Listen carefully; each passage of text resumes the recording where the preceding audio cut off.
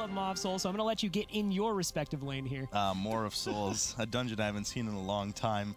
Jack, we're back. We're back better than ever here. Starting off the Maw of Souls with Method NA versus Stupid Mistakes.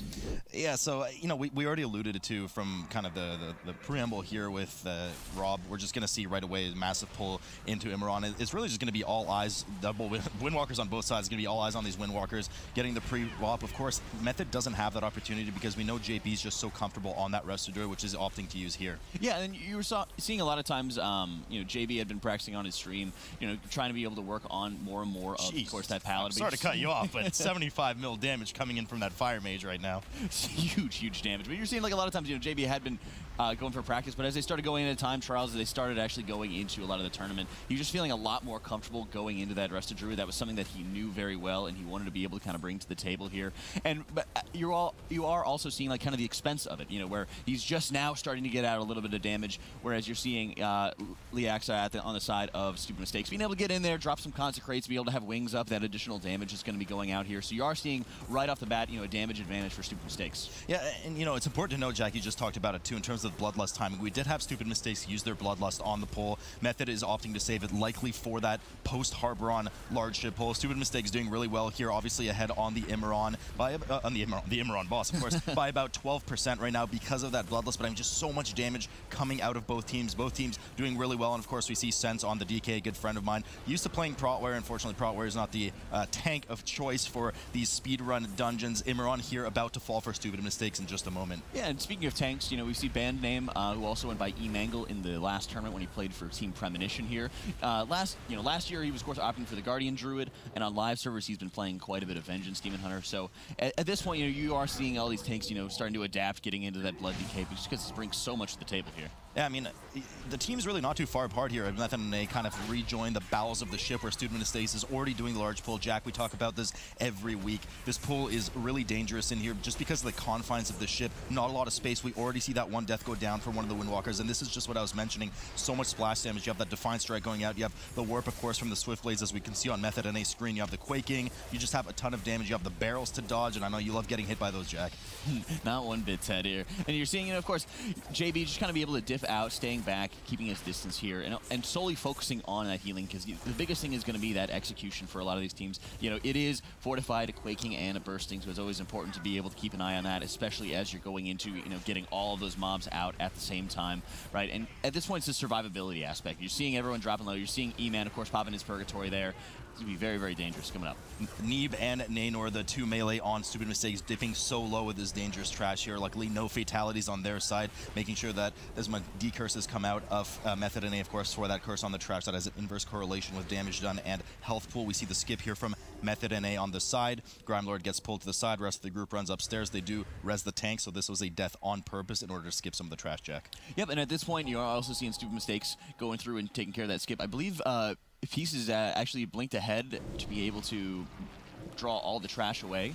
And yeah, they actually were able to get the quick invisibility. So yeah, I they're actually getting uh, nice stealth here to be able to get past all these champions. Yeah, all of the pieces are coming together. They do get upstairs to Harbaron right now, ready to pull the second boss here of the dungeon. Of course, we're not in that tyrannical setting. We're in the fortified right now, I believe. Yes, we are. Um, so, you know, a quick note about this boss, because Ymiron just dies so fast, we never really have a chance to talk about him. But for Harbaron here, a few of the abilities to watch out for. You see the Scythe coming in right now for stupid mistakes. Players want to make sure they dodge that. It's just a line in front of the boss. Furthermore, you do spawn these servitors on a player, so it's really important for the players to kind of get near the boss, make sure they spawn that ad and interrupt it properly on top of the boss. And lastly, Jack, of course, we have uh, not only the, the nether rips that go on the ground, but those four ads that spawn on a player, stun them, and do some damage. Yep, and it's always important to watch out for the fragments, and like you said, being able to bring all of those in, because it will stun the player, and it will constantly deal ticking damage to them until all of those four ads are, of course, uh, uh, neutralized. So as they, of course, spawn, they will be spreading out into different directions. Very important to be able to get on top of those. But also, a lot of times, make sure that you're having, you know, the servitor, when it aligns with the fragment, having all of that in together, allowing as much cleave damage as possible, and it really goes a long way into making sure you're getting the interrupts out,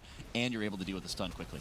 Stupid Mistakes maintaining their lead here. They have about 14% on the boss ahead of Method NA right now. But also the two death. And one of the deaths, of course, was on purpose on Method NA. But they did have that unfortunate Windwalker death as well. That adds another five seconds to the board. So all eyes really are going to be on this uh, post Harbaron pull with the ship, where Method NA will likely use their Bloodlust. Stupid mistakes, of course, not having access to that Bloodlust. So it's going to be Method NA's chance to really try and catch up on the map, because after that, it's just going to be who kills Helya first. Yep, and at this point, you're likely going to be looking for Method NA to start uh, pulling Skjal along with all of the deck pull. But you are also seeing, you know, Method NA catching up so rapidly in terms of damage. of damage. as JB is able to actually get into his Feral Affinity and take, or sorry, take advantage of his Feral Affinity there, be able to dish out quite a bit of extra damage here. And they are beating stupid mistakes, and they're going to be having Bloodlust ready to be able to pull the entire deck. Method NA just floors it, beats Harbaron over stupid mistakes, and does massive pull on the ship here. Now, we'll have to keep an eye if they pull Skjal. It looks like they're actually not pulling Skjal. We do see that Bloodlust come up right away on Method NA. A death going down on stupid mistakes. They use that Battle Res right away to get the Windwalker up, finish off the... Actually, no, they don't use the Battle Res, excuse me. The Battle Res is saved. They get the Windwalker up, and we're seeing the big pull come in for Method. No Skjal pull with it. Stupid mistakes doing a similar pull here. Of course, they don't have Bloodlust available to them. Yeah, and at this point, you know, like I said, they're not pulling Skjal, so they actually are playing a little bit safer on this point. But really, if they're going to be able to pull this off, they're going to be able to neutralize it so much more rapidly uh, than Stupid Mistakes is. This is going to be the opportunity they really need to be able to get this lead. They just need to make sure they're clearing out the last of that bursting, as they do very, very well. The Maze just doing so much damage. Who cares about Bloodlust right now? Peaking at 60 mil DPS around. Both teams having to go just a bit defensive. We do have the Holy Paladin go down. No battle res used, as they can just release at the checkpoint from where Harbaron just fell. Method safely killing all the trash, stupid mistakes as well, and now getting ready to pull Skjal alone. More of an old Skjal strat. Usually we see these teams do this. Sometimes we have seen some pull, uh, teams do a really risky pull of Skjal on top of the trash. Both teams playing it safe here, but a lot of damage coming in on stupid mistakes, just barely stabilizing, have three deaths incurred on top of it after the one on the boss. It's incredible. They're not far off from where Method NA is at. I mean, Method NA, you know, Stupid Mistakes definitely could have pulled it quite a bit more rapidly on a Skjal to be able to make up for it, because Skjal actually is, you know, at 50% uh, at this point coming in. But their pull wasn't too far off from Method NA's. You know, they had just a little bit that they had to mop up there. It does look like they actually uh, could have just been playing a little bit more uh, safely to be able to make sure people are getting topped off because the bursting was just bringing everybody down so low on stupid mistakes and he was barely able to be able to keep people top there. So maybe that would have been able to accelerate their pull a little bit more cleanly. But at this point with Skjal, I mean, they just got to make sure everyone's staying alive. They're able to get it down quickly. And like you said, it's going to come down to a race with Helya. Yeah, so Skjal still has about 40% to go for Stupid Mistakes as Method NA has already started their RP on Helya going downstairs. Now, about this fight, there's a two phases, uh, there is two phases to this fight. You do have three uh, tentacles that spawn at the beginning of the fight. You have to kill six overall between Grasping and, of course, Destructor. Does not really matter which of the six you kill. You just have to get six right away. Players will have to go to either side of the ship to avoid her huge frontal that will likely one, eh, maybe not one-shot players, but likely be dangerous enough to one-shot them. And, of course, there are random tentacles that will spawn, which is why you're seeing the players kind of hug the sides of the ship, making sure that not only do they not have one of the random tentacles spawn in one of those predetermined locations, but they also don't accidentally get one of those Destructors, Jack, that hits them before the tank is able to react impact. Yeah, it's very important to be able to kind of hug those sides, and you know, even if you're looking at one of the uh, areas where tentacles have already spawned, you know, of course, there's you know a nice little safety radius around there that they can watch out for. You are seeing JB and Marvin just sticking to that right side, you know, fairly close to where one tentacle has already spawned, and when, of course, it does pop up, they're able to kind of move away from any of the, the splash uh, damage that can kind of come around, where a little swirl will come around, and then they're able to relocate themselves, of course, as you're saying, as Helya does sweep the ship. The second Destructor, of course, not spawning in Method NA's favor. Does spawn in the back of the ship. It also has a chance to spawn in the front of the ship where they would be much better because they can start to more effectively cleave, especially with this double DPS, uh, double melee comp, more effectively cleave the Destructors and the Grasping. Coach Mid getting quite low there, no death fortunately. We still have Perg procced over on the tank who does go down there. They need to get that battle res up right away. Fortunately, they had that left over from the trash. Coach Mitch now, Mitch now goes down. He does not have the battle res either, so they're gonna have to either four-man the rest of this or just opt to try and wipe quickly and get back. Stupid mistakes slowly catching up and the full team's healthy right now. This is the scariest thing right now because you are going to be looking at stupid mistakes, trying to be able to get their bloodlust back, to be able to get maybe one more use here to be able to kind of catch up. And at this point, Method NA has to be able to burn down the last of the boss because, again, if they were to actually die and reset, they have to do all of those tentacles all over again, and they just really can't afford it. This is an absolute nightmare for Method NA right now. They're going to have that battle rest coming up in, I would say, a few seconds, 30 seconds or so. But Helia does enter phase two now, where she'll have one minute of uptime where players can DPS her here, dodging her breath that covers one third of the platform. At the same time. But after that minute, she will submerge Jack for 20 seconds, being inaccessible to be DPS, and the players just kind of have to run around. So a lot of damage that needs to come out of the teams to catch up. Now, it is important to note that Helya does not actually need to get to 0% to die. She needs to get it to about 70.5 before the encounter is over. But Meth is just going to stick it out, going to four-man for as long as they can, and as soon as that battle res is up, they're going to opt to res coach. Yeah, and at this point, you know, they're about to get that submerge. They should probably be able to get mid up just for a little bit of damage before the submerge does go out here. But at this point, you have 30 seconds left on the timer for uh, Bloodlust for stupid mistakes. If they're going to be able to get the timer, it probably will end up getting maybe you know, almost a full duration of Lust because uh, uh, the the phase does actually uh, last about a minute before she does end up submerging, so they should be able to get some amount of bloodlust timing, but it, I don't think there's going to be enough to get that one phase here. I think it's similar to what you said pre-match. They're going to get maybe 20 to 30 seconds of that bloodlust. They're going to pop it right away in five seconds. Mid does come back up for Method right now. They have entered their first submerge phase. We usually see teams enter the kind of 72 to 73 range before submerge. Helliot 75% for Method because they had to four-man. We don't see the bloodlust come up. They actually might be waiting for the moment she submerges and then comes back up. Cauterize has already procced on pieces. The mage over on Stupid mistakes. Got to keep an eye on that. They do have the battle reses available, but certainly don't want to be having any deaths with that five second penalty. Yeah, and this is the scariest thing is actually Method NA has already come out of their submerge phase. At this point, you know, stupid mistakes really missed their window of opportunity. If they're going to be waiting on that bloodlust, I'm not sure what they were kind of waiting on. It seems like a silly mistake to me as Method NA is taken down. Helya just needs one percent left to be able to close out this series, uh, close out this game here. Oh, that was, I mean, yeah, certainly stupid mistakes had that opportunity, but you know, it just was enough. Jack, they have the death at the end as well with the Holy Palette. I'm not sure that was kind of just for fun if they know what, what has happened already. But Helya does come up. They should be able to. There's the Bloodlust, as we said. I would have used it earlier. Even, yeah. if, even if they did waste half of it, at this point, they had to gamble and try to take the match from them. The death differential, there actually was no death differential between the two teams, so it was non-existent. It was just a matter of who DPS the boss faster. But ultimately, Method made the right call with sticking to it, four-manning as long as they could, and they ended up taking the match as a result. Method doing uh, what seemed impossible last weekend, getting a win on Mob Soul. So the curse is broken. Uh, stupid mistakes, arguably living up to the name, maybe, would we say, uh, in that situation, because uh, that Bloodlust pop, let's go over it a little bit more. Let's talk about why that Bloodlust pop maybe could have been done differently. I mean, it's they had one of two choices. I mean, I, am going to lay down some really heavy analysis here. They could have either bloodlusted or not bloodlusted right? Wow. No, no, but I mean, jokes aside, the thing is, I, I, kind of agree with Jack on this one. But at the at the end of the day, they also probably realized that even with that 20-ish seconds uptime of Bloodlust, it probably wasn't enough. The, Helya was at 74, 75%. Even with that Bloodlust, it wasn't enough for them to one phase, so they tried to get the most out of their Bloodlust the moment she popped up. But even then, when she popped up, would she stayed alive another 40 seconds for the Bloodlust? Probably not. Well, at that point, you know, when they Bloodlusted, it took, you know, what, 10 seconds maybe to actually burn down the rest of the boss there. So, I mean, you know, maybe they had some dots rolling or things like that. But at that point, you know, they should be ready watching that timer the second it actually uh, comes back up to at least try for it. But that's also, you know, like like we were talking about with the bloodlust timings, it's also a very awkward situation. Is if you're not able to get a two phase out of it, or sorry, if you're not able to one phase the boss, before she actually ends up submerging, then really what are you kind of getting out of uh, that, that Bloodlust timing on Ymiron and then, of course, at the end of the fight? That's why you see so many teams being very successful, having the Bloodlust there on the Harbaron ship. And while, of course, we were able to see pieces just annihilating that ship pull without Bloodlust, imagine if you're pulling Skjal into it with Lust, with everybody going crazy on top of it. Yeah. They've really pulled ahead off. I, I do think they could have pulled that off if they had saved Bloodlust for that pull because he was doing just crazy amounts of damage. And it's funny, Rob, it's exactly what you were alluding to the beginning of the match. It all came down to just a couple of splash deaths, couple of small mistakes, and that's all it took for a few seconds difference. Well, and congrats to Method. They really kept their head on a swivel there. Uh, Mitt went down, and you know there's certainly a time maybe in that uh, situation where you, you, maybe lose your cool and play uh, suboptimally, but they really kept it together, and they were able to eke out that all-important map one win. So. Uh, we're going to see if stupid mistakes can equalize, if they can find a way to come back, or if Method is going to be able to take this first series of the day. Don't go anywhere. More Mythic Dungeon Invitational on the other side of this short break.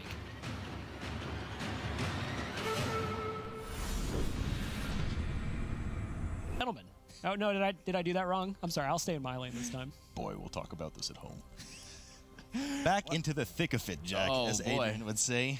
Excited to see this dungeon, but I, you know, Jack, it's like kind of both of us were saying. I think we're just going to see a lot of aggressive play. I, I doubt we're going to see too much, you know, Pridus being bust out in a lot of these bosses. Just kind of want to rifle through everything. But all eyes on this first pull here because a lot of teams opt to skip a lot of these first pull with the cats and the birds and the bears. Oh my, leading up to the first boss. But we see Method and they getting right into the middle of it. Yep, bringing in the entire zoo here to be able to deal with. And one thing I've always been, uh, you know, pretty impressed with from the last series was how JB was playing very safe and very secure uh, throughout the ins to make sure that his team was, you know, being able to stay alive. And uh, a lot of times he was pushing himself to the limit on stream or in practices to be able to kind of see how far he could take it and actually losing DPS to kind of bleeding out. Uh, but at this point, we haven't seen that yet. And at, it really has been paying out dividends for them on that Maw of Souls game, and I'm very interested in seeing how it's going to go on the, especially we're getting into the boss fights. So we do see the first skip coming out of Stupid Mistakes. They do use their mass stealth right away, get through most of that trash with, you know, the cats. The cats being particularly dangerous for the range as they do jump out, but they do it perfectly there as they pull the two mobs on the side before the two bears. That likely they were skipjack, I want to say, for Stupid Mistakes. We'll have to keep an eye on it. They get the two Ruiner patrol in there, nuking everything down together. Method NA, in the meantime, is working on a lot of the trash on the way because we do see a lot of skips coming up in the shade of Xavius Log. We'll get to that later. But if Method NA is killing a lot of the trash at the start here, they will have time likely to skip most of it at the end. So different trash strategies coming out of both teams here right now. Yep, and you're actually seeing the invisibility potion uh, being popped by the entire team for Method and NA here, being able to skip past everything and start working their way towards Glaidalis, like you said. You're also also seeing JB, of course, taking advantage of that Guardian affinity here. You know, we want to make sure that, you know, especially when you do engage with Glaidalis, you want to be able to have that extra defensive capability here. JB, of course, stealthing ahead to be able to kind of uh, start the RP process for everybody, so that way they'll be able to run through very quickly. Uh, but I like being able to see that extra safety, uh, extra safety move. Uh, it's very important when you're getting to Glaidalis, but also when you're going to be uh, dealing with Xavius, you know, be able to have you know, the frenzied regen kind of come back mechanic, make sure that you're going to be in that safe position but as a result, you are going to be seeing him using, you know, uh, Lady and the Child, Fury of Nature, uh, to be able to kind of take advantage of that Bear Form Moonfire DPS. And both, team, you know, you, you see the kind of utility or advantage of having that Rogue here. They don't have a 10-minute CD pod incurred for stupid mistakes. The Rogue was the one to pull the Bears and vanish on the side, so they don't have the extra 5 seconds plus rest time needed for stupid mistakes. Big damage coming in on Glaidalis For this boss, Jack, not too many mechanics to worry about, but he does transform in his cat form twice for every bear form. The cat form, of course, jumping on the furthest target from the boss, applying a grievous wound need to be healed above 90% in order to get rid of that increasing damage stack. And of course, that bear form will perform a huge frontal knockback in front of him and then charge the current target, likely the tank doing more massive damage. Key here is really to tank the boss facing into a wall, as the boss's hitbox will first impact that wall rather than the player and mitigate a lot of that damage. Yeah, and you're seeing here just type grouping here uh, by the entire group to make sure that, you know, uh, when Glaidalis jumps away to hit the farthest target, it's going to be that healer, but the healer is also going to be able to kind of stay close enough to that melee range. You're seeing uh, Lexa, for example, on the side of Stupid Mistakes, you know, being able to be very close in, not having to run out too far, and then, of course, in between, uh, you know, in between the leaps, they're able to kind of get back into melee, deal a little bit of damage, and then hop back out really quickly. Just so much damage coming in from Method and Aid. I mean, they've surpassed uh, Stupid Mistakes Glaidalis right now, and they pulled around the same time, too. We're seeing a lot of more damage coming out of JB versus Liax Paladin over on Stupid Mistakes, so that's a big damage uh, difference between them. The DPS aren't too different just looking at the board right now, so really that healer making the damage in the long run, especially with these tyrannical bosses with the higher health pool. Yeah, and that's one of the things because of the fact that, you know, you're running with the Resto Druid, you are able to get, you know, uh, the Fury of Nature, extra DPS, uh, the extra arcane damage from your Moonfire uh, being able to be applied, whereas Paladin, you've got Judgment, you've got Holy Shock, and you know you could maybe get some Crusader strikes in when uh, you get leaked out at. But when you have to be constantly dipping out of melee, you're losing out on all that auto attack damage. You know if they're moving the boss, of course, out of uh, your consecration, uh, like they did just there for some mistakes, you know, it, it, definitely puts more and more pressure on your DPS uh, to be able to kind of carry the, the extra weight. I like what Stupid Mistakes is doing here. Of course, after that bear form, they drag the boss away from the wall right away to kind of keep that real estate before those ooey gooey rich and chewies fall down and a lot of that spooge to the ground. You want to make sure that it's not covered in too much of the area. Glaidalis, of course, now falling for Method on the left side of the screen. They will start on some of the trash here. Now, they did kill more of the trash pre-first boss than did Stupid Mistake. Oh, no, actually, they didn't. Excuse me. They're 23% right now. There's a lot of kind of strategy in the trash pulls coming up. Some people do the double keeper pack, some don't. Some do all three keepers uh, and, you know, don't do as much of the trash and shade of Xavius' area. So we'll have to see exactly what they pull, but they do get this first standard pull here with the one Dryad and the two Blossoms. Yeah, one of the weird things about this instance in particular is how well you're going to be able to skip past some of this trash. You know, the invisibility potion that Method NA used, for example, you know, they're skipping past some trash packs that were going to be a lot harder to be able to group up together and condense together very rapidly here. And it, kind of is, you know, shown off by the Dryad, which uh, while it can be tanked, will have you know that aggro, but it will kind of just prance around, kind of jump around all over the place and be much, much more difficult to, to group up together. So you're seeing as Method NA here and uh, Stupid Mistakes are, of course, gra grabbing all the flowers in the garden behind the house, bringing it all in together. You still are kind of having a way to be able to get the Mass Grip, to be able to get the Dryad in, stun it, and be able to take it down very quickly before it jumps away. These flowers just getting nuked down so quickly, often used for stem cell research. Method NA starting to back up right now as they're going gardening. Stupid Mistakes just slightly ahead as they finish the last flower here, after which I expect that the Major, the Rogue, will pull the double Keeper pack to the side. Looks like the Rogue's going to be the one to do it. Get everything there, vanish as the rest of the team safely goes down the way, grabs the patrol, and likely goes into those five GUIs, the Dwellers that we always talk about, which are needed to kill in order to have access to Oakheart, the second boss of the dungeon. Yeah, but you're seeing you know, JB on the side of Method NA doing the exact same thing here, uh, being able to just pull everything off to the side, getting that quick death in, and then he's going to be able to, of course, mount up and be able to kind of skip around everything else here. So as the team is just pulling that away, you're not having to wait for the battle res, and you're able to have, you know, uh, E-Man be able to continue pulling all the trash in together and keep on uh, going and still making progress while JB catches up. JB doesn't actually mount up. He turns into a mount himself. Oh, Jack will have to discuss this later. Method NA pulling just the uh, trash here without the dwellers coming up, opting to nuke it down. Now, they did bring some extra trash on top of the three that are patrolling here, so they wanted to play it just a bit safe here. Stupid Mistakes doing the same thing, but I believe they only have the three here. Rearing up for the Dweller pull are both teams right now. Now, the Dwellers are particularly scary. I know we are in, in a tyrannical setting right now, but those Dwellers do channel a cast on someone that does chain damage, and then of course explodes for damage with a five second fear if the cast is allowed to go off. So not only do you need to interrupt, but you need to interrupt right away, and there's five of them. So we do have leg sweeps, of course, on both sides. Um, things that are going to be done hard CC, and you got to get them down in that window of opportunity before you start having to play too defensive. Yeah, and, and a lot of times it's because of the desync that occurs with these GUIs where they will be casting and channeling at different times. See, when you get like that mass stun out, you know, you have to be very careful with your kicks and make sure you're kind of coordinating the kicks when possible. When you start running out of those group-wide CCs here, you know, so at this point, a lot of times you're going to be start, you know, get the leg sweep out, get the extra stuns out, uh, and then uh, you start slowly kind of rotating through kicks on uh, all of them as they appear, and of course rotating through those good old Blood Elf silences. Method NA now rearing up to pull our favorite tree boss of the dungeon. Jack, Agronox is actually my favorite. Okay, Jack, I promise no more tree jokes. All right, we're going to make a treaty here. Now, the team turns the boss around, making sure that none of that Nightmare Breath actually hits any of the members. It's kind of a 30-second cycle rotation boss where you have that AoE Stomp coming out of the group. That does a fair bit of damage you see every 30 seconds, along with a Crushing Grip on the tank that will do an absolute ton of channel damage. Then the tank will get thrown on top of one member for some light splash damage as well. Lastly, Jack, of course, are those roots on the ground that are important to deal with, and there's multiple ways to deal with them. Yeah, and at this point, you are seeing you know the roots, uh, the entire group spreading out from Method NA, you know, not quite stacking up together. Whereas you see Stupid Mistakes staying in very close together. That way, Lex is going to be able to uh, Hand of Freedom himself, be able to run over all the roots to be able to clear them here. But you are seeing, of course, everyone's kind of spreading out, and they are uh, going to be allowing the roots to stay up. That way, Marv is going to be able to get you know a little bit of extra single target damage out of him here instead of kind of clearing all of them out right away. You know, having you know JB kind of taking his time, clearing them off, uh, just a little bit later here, uh, rather than getting all of them stacked up together and then shifting once. Method NA slightly ahead on the boss, about 8-9%. Stupid Mistakes getting their AoE punt there. I really like what they're doing here with the roots. It's really clever of them, stacking up. The four players move away. Paladin's already in position to just cast Hand of Freedom on themselves. I like it. Um, curious as to why it's not the mage that's doing that, so the mage doesn't have to move and, you know, not incur the damage loss because the paladin can more freely move and still get some holy shocks in. Nonetheless, it's working for them, no problem. Eight difference is maintained between the two teams right now. I mean, this is just a grind of a boss right now. You just got to make sure you deal with that spike damage, which the DKs are very good for, helping with that consumption every other uh, AoE hit, making sure the group's healthy before that hit because that's really what's going to kill you. It's a huge spike hit, and making sure that the tank doesn't die during the grip, which, again, no problem for a DK. With this amount of gear and haste that they have, they will have access to Vamp Blood for pretty much every crushing grip, and of course have access to AMS every other.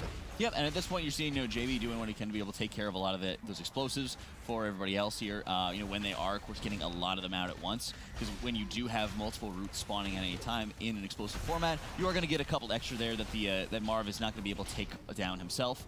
Uh, so even though you are going to get that little bit extra damage uh, from the Warlock being able to kill those very rapidly, Ooh. you are going to have to actually have somebody else to help out here. And, and you are seeing E-Man going oh. down. Purgatory was down. Marvin does take a very big hit, but he does survive.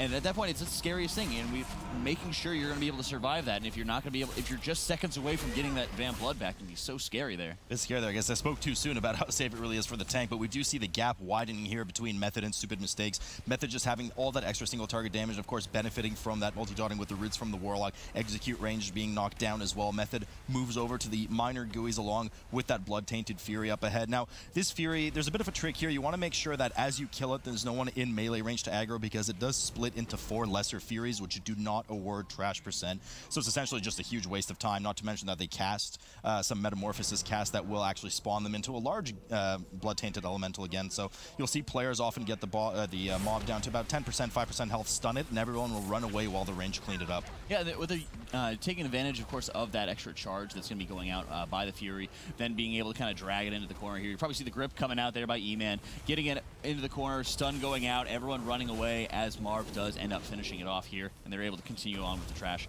It's very important that they're dragging it away, of course, from any of the, you know, the little routes or any of the pathways, because if somebody does die, they're going to go all the way back to, I believe, Glaidalis' room, have to run all the way forward, uh, and it, it can become so much, such a pain if you're having extra trash that you haven't cleared out, just going to be blocking their path. Right, you are, Jack. Both teams now waiting for that second Blood-Tainted Fury to move out of the way. Teams often don't deal with this one. We'll see a root come up or some kind of CC, or the teams will sneak by very quickly, avoiding it. Moving into Dresaron's room, the third boss of the dungeon. Method NA right now being ahead on Trash. Oh, actually, the GUIs didn't die yet for stupid mistakes, so they'll be around in the same range. Dresaron immediately being pulled for Method NA here. Three main abilities to watch out for on this boss. Does have a Frontal Breath that will target the closest, highest aggro in proximity. So if the tank's actually caught out, grabbing some of these whelps, which teams often do in order to boost their single target damage on the boss, it will actually turn to one of the melee and breathe on them. So they have to make sure and be on the ball about moving. There's, of course, Jack, the AoE kind of wind that pushes players back. And finally, there's that cave in, too. Lots to look out for for the healer here. Yeah, and the pressure on the healer is definitely going to be uh, very high here. You're seeing Efflorescence was dropped in the path, of course, of the knockback there.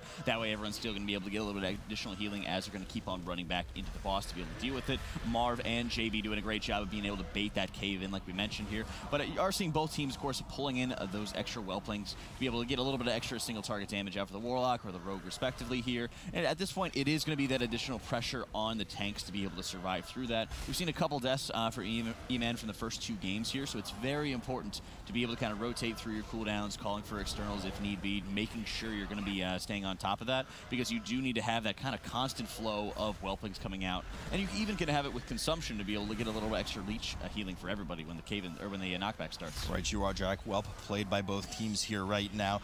Both, I mean, this is just a grinder of a boss. You got to just make sure that you're not caught with uh, a cave-in in the boss's hitbox because, as you mentioned, the boss does push you further and further. The further you are away from the center of that circular red hitbox in the middle of the boss, you can see JB kind of being caught on the side there. Does well to blink back in, making sure he doesn't aggro any extra whelps, but the cave-in needs to be baited away, otherwise the boss has to be displaced. And so we just discussed, you're trying to move the boss as a tank, turns around, starts breathing on the melee, you're trying to get back in time with the whelps, the winds start, you're out of position, and it just leads to a bunch of bad stuff. Only 7% between the two teams here, so they're actually maintaining a kind of a, a closed gap between the two teams, not uh, too much damage for Method NA being pulled ahead here, but we are getting lower to that range. Actually, they're closing the gap now. We're looking at 4 or 5% difference. Yeah, and at this point, Method NA does still have to deal with, does still have to account for those three deaths that are already on the board, whereas Stupid Mistakes has made no mistakes thus far. Very important to you know, make sure there is that 15 seconds that uh, Method NA will have to make up here. Both teams sitting pretty on Bloodlust. Stupid Mistakes having you know the additional battle res over at Method NA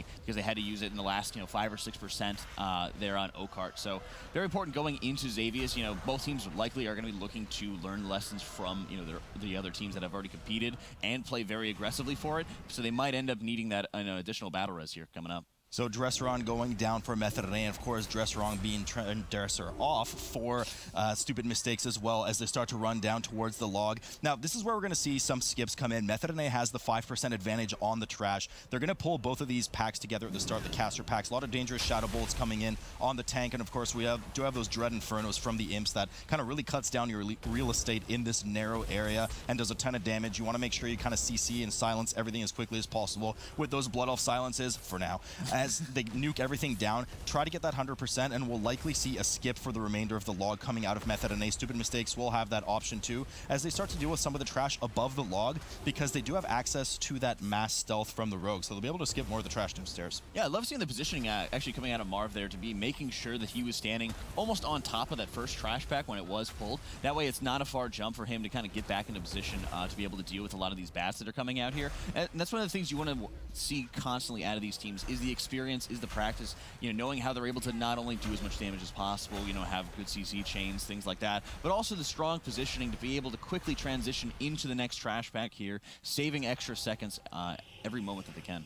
So we do see the stealth, uh, the the invis pot rather come in from Method NA. Stupid mistakes, kind of rearing up right now. We can see they're going to pull just a bit more trash. Obviously, they saw 13% to make up. They'll use the mass stealth later. Method NA well ahead at this point in terms of getting ready to pull Shade of Xavius, the last boss. But but they do have that three death difference to make up. That's an extra 15 seconds, which is a lot of time on this last ball to be uh, boss to be made up. Stupid mistakes dealing with the last of their trash right now, and Method NA has now pulled Shade of Xavius, the final boss of the dungeon, popped their bloodlust right on the pull. A lot of mechanics that are really scary here on the teams, especially in this tyrannical setting. You have the Nightmare Bolt going off. We just see that.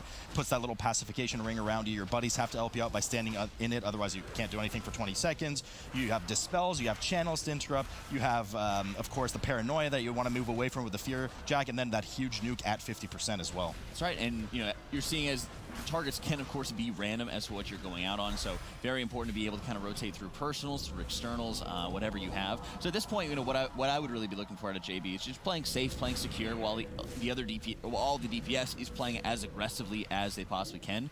And at this point, you're seeing, of course, Coach Mitt getting, uh, like you said, the paranoia on him. So you're having uh, Dark and uh, E-Man being able to stand right on top of each other to make sure uh, they're able to kind of stay away, and not have the fear going out onto Mitt. And like you said, you know, the 50% transition can be so dangerous. You're seeing people trying to hold on to their personals if they can, all their large defenses to be able to survive that point because they really can't afford to be uh, using them, for example, on like feed on the weeks or the nightmare bolts. And here comes the big bang right now for Method. We're going to see if all the players are able to hold on. I'm sure they've been holding on to their defensive. Should be no problem for the team. Everybody in healthy state here. JB working quickly to get everyone back up because the nightmare, of course, is that nightmare bolt. Hitting a low player right after that explosion does well to heal up the team. They're moving well towards the end. Stupid mistakes now just reaching that 80% mark on the boss has used their bloodlust as well. But I mean, they're well over 15 seconds behind on this boss right now. They're going to have to hope for a death or maybe even a full team wipe on Method side in order to be able to take this match and continue the series. At this point, that does not seem to be happening here as JB is, you know, continuing playing safe, being able to, you know, rotate through cooldowns here, making sure he was able to keep Bark up when that feed on the weak was going out. But they've also been getting, you know, a lot of the feed on the weeks, a lot of the Nightmare Bolts, of course, going on to uh, band name or E-Man, uh, making sure that, you know, a lot of that damage gets funneled into the tank that already is dealing with it. It makes things a lot easier. And as you're seeing right there, JB taking frenzied or taking frenzied regen from his Guardian Affinity, really paying dividends there to make sure that you know he's able to instantly shift into bear form, have the additional HP, and start healing himself right off the right off the bat. Yeah, I mean JB is showing that you really don't always need a Holy Paladin while playing that Resto Druid that we know he's so well versed in. Shade of Xavius now dipping into the single digits for method. Should be able to clean this up soon while Stupid Mistakes on the right side of the screen is reaching their explosion mark for phase two, which of course does spawn the swirlies we failed to mention that we're seeing on Shade of Xavius on method NA side. We do have a death go down on the Holy Paladin. Unfortunately, they have two battle reses available. Immediately get that res up, but the rogue goes down as well, so they're going to need to use another one right away. That's an extra 10 seconds on the board, and that is not what Stupid Mistakes wanted to see or have done to them at the end of the match here. But even after, of course, you know, they didn't want to have those additional deaths, you know, from an otherwise very clean run here. They also did play a lot slower going into Dresaron, as you see, you know, Yikes. almost going down, or almost going down again. It was very, very scary uh, to be able to deal with. But you know, Method really started pulling, ramping away from them when they got into Dresaron, instantly getting back into pulling all that trash and really taking it from there. Yeah, and, and it's, you know, and I'm sure we'll talk about this uh, right now. Hi, Rob. hey. hey, welcome back. Yeah, I, Method looking uh, very dominant there, especially when it came to the, the damage they were doing. Uh, my MVP for that match